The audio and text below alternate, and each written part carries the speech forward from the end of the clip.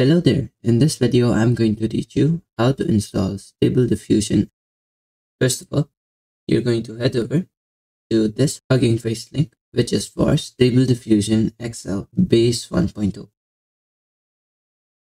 Once you're here, you're going to scroll all the way down till you find these three files. Over here, what you want to download is this first one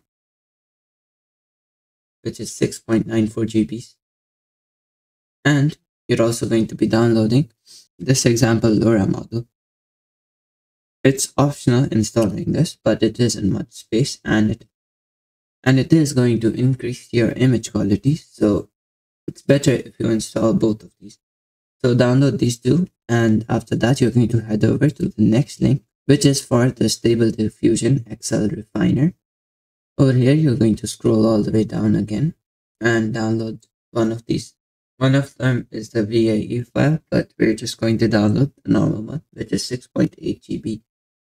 Now, this is going to take some time based on your internet. So once you're done, you're going to head over to the folder that you downloaded all of these into. I already downloaded mine. So after that, make a folder, name it models or whatever just save these three somewhere safe. And what you're going to do is copy the base and the refiner. And you're going to paste it into the place where you have your Stable Diffusion web UI. You're going to go into that folder, scroll down to models, then to Stable Diffusion, and paste it in. Keep in mind if you install the VAE files, you have to paste them in over here. You're going to head over back to this, into models again, and over there you're going to create a new folder, which you're going to name LoRa.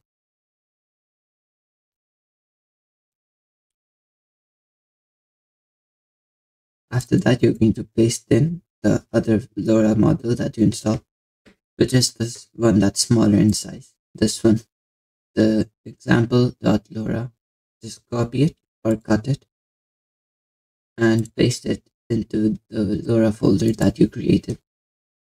Once it's all done, you're going to head over to the Stable Diffusion Web UI folder, go all the way down, and then just hit the Web UI or Web UI user.bat. And this is going to take a while, so just wait for it. And once that's done, it should open in your browser, but in case it doesn't, you can find the link and run locally over here.